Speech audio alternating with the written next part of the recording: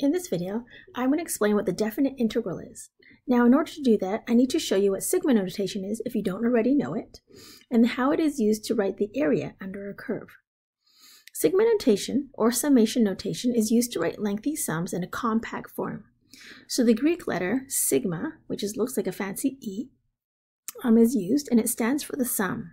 So if you look at um, the way that it's written here, the sigma notation has underneath it an i equals m. The i stands for the index of summation variable, and the m is the lower limit of summation.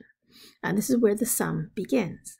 Above the sigma notation, up here, is the n, and that's the upper limit of summation. And this is where the sum will end. So what happens is that each integer from the lower limit, in this case m, to the upper limit, which is n, including those numbers, is substituted in turn for each occurrence of i into the term f of i. And then after that, the results are added, hence it is the sum. So remember that you're using integers to substitute in for each uh, variable i. Now you may use any variable for the summation variable, but most often you will see the letters i through n to be used. The lower and upper limits may be any integers, as long as the upper limit is greater than or equal to the lower limit. The term in the sum may be any function of the summation variable. And the summation variable may also be used as a subscript or superscript as well, as you will see later on. So just to kind of help you understand how the sigma notation works, I have a simple example here. So we have the sum from i equals 0 to 4 um, of the function 3i. So how this works is that we're going to plug in the number 0 in for i. So we have 3 times 0. And then we're going to add the next term. So we increase to the next integer, which is 1. So 1 is now plugged in for i. So now we have 3 times 1. The next integer is 2. So we have 3 times 2. And then 3 times 3. And then 3 times 4. And we stop here uh, because the upper limit is 4. Then we add up all of these terms together and we get 30 as our sum. So note, um, kind of an important little note, is that the number of terms in this sum is equal to n minus m plus 1. So notice that if I take 4 minus 0, I will get 4, and then I need to add 1 to get 5. So in this case, if you check, there are 5 terms in the sequence. Now, a Riemann sum, um, you learned about, oh, sorry, to go on, um, a Riemann sum. Uh, you learned to approximate the area under a curve using rectangles in the previous section. So for example, let's consider the function um, f of x, which is graphed below. So like before, we're going to divide the interval from a to b into n subintervals of length delta x1, delta x2, and so on, where the ith subintervals has length delta xi. So I'm just going to quickly um, divide this up. And so on. And so we'll divide up the whole um, graph into rectangles. All right, so I divided this graph into um, some rectangles, and we're going to say that, let's say that this rectangle here, and I tried to divide it up using a midpoint approximation. Let's say that this is the xi, so the height of this rectangle is f of x, i, i being the ith rectangle, and then this distance here, the width of the rectangle is delta x. So each subinterval, we've created a vertical rectangle uh, that touch the curve, and these rectangles can lie either above or below as you notice. Now each rectangle has an area of f of xi, which is the height, and delta xi, which is the width. So this area can be positive, negative, or zero.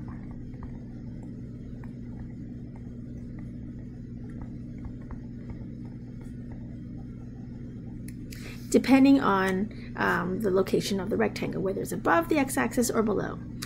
Finally, when we what finally what we're going to do is to take the sum of all of these products. So we're going to use our shortened notation. We're going to use the sigma. And we're going to say that the first rectangle is i equals 1. And we want to go all the way to the nth rectangle.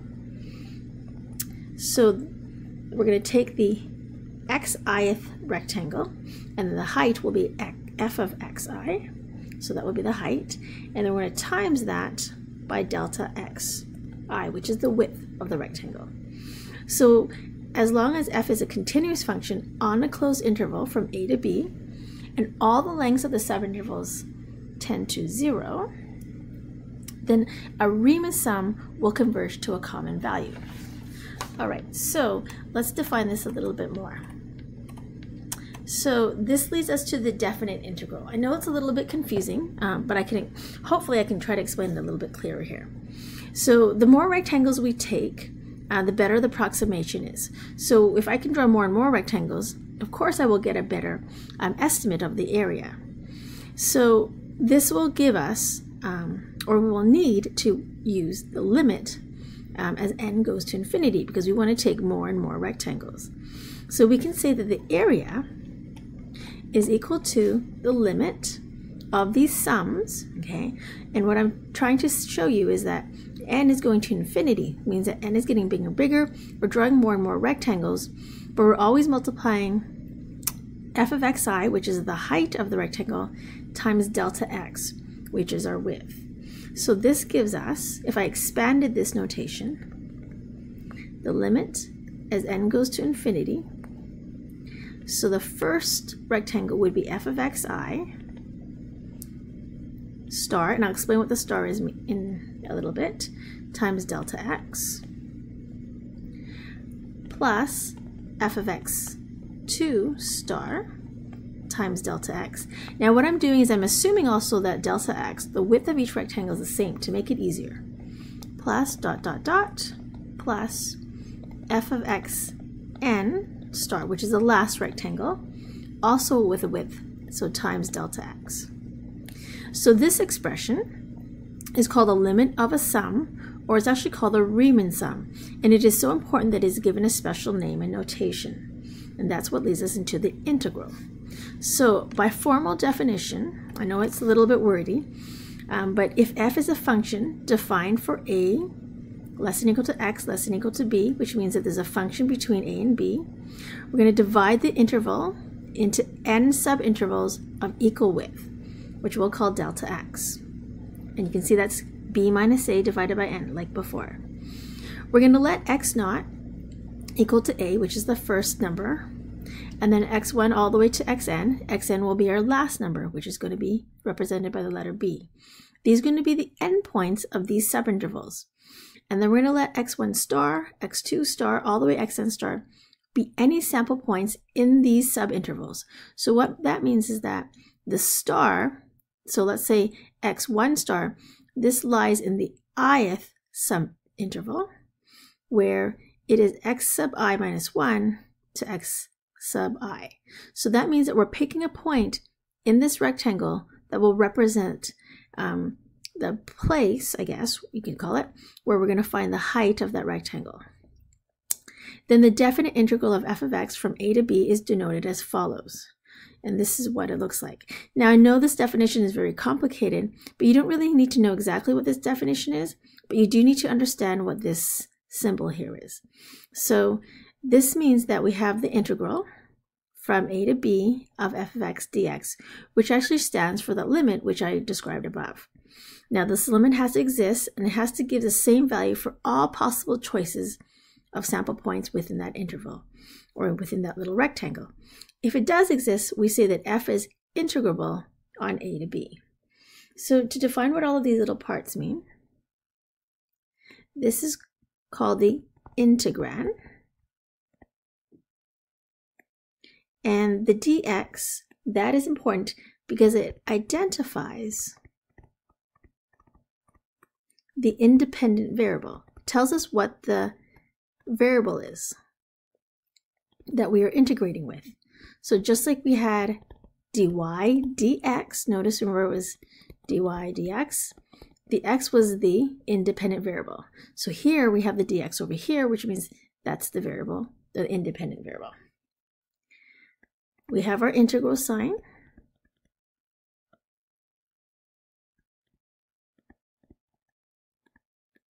And the a on the bottom is called the lower limit of integration. And the upper value, the b on top of the integral, that is called the upper limit of integration. So the definite integral, it represents the sum or area with continuous unbroken sampling of x values from a to b. It is as if we were summing all the products of the form f of x times d of x as x goes from a to b. So what we're doing is we're adding up all of these little rectangles, but what we're going to do is actually now use a symbol, um, the integral of, um, actually here, so it's read as the integral from a to b of f of x dx. Or you can say the integral from a to b of f of x with respect to x. So the definite integral can be interpreted as a net area. That is a difference of areas. All right. So just as a very simplified geometric example, suppose we have the following function. And the area under the curve would be this part here. So it's always between the curve and the x-axis, but we can also have the area below the x-axis up to the curve. So any area above the x-axis but below the curve is counted as positive. And any area below the x-axis and above the curve is counted as negative. So let's say that we have these shaded areas. We're going to call this A1, A2, and A3. Then we're going to say that the integral or the area of this would be A1 minus A2 because it's negative, and then plus A3 because that's positive. So to end off here, um, the, there is a theorem to describe the existence of definite integrals. And we know that all continuous functions that are integrable, or sorry, they are integrable, that is, if a function f is continuous on an interval from a to b, then its definite integral over a to b also exists. Now, I know this has been a very um, more of a, there's no examples, and it's been very um, wordy, but I'm going to show you in the next video um, how to look at some examples geometrically.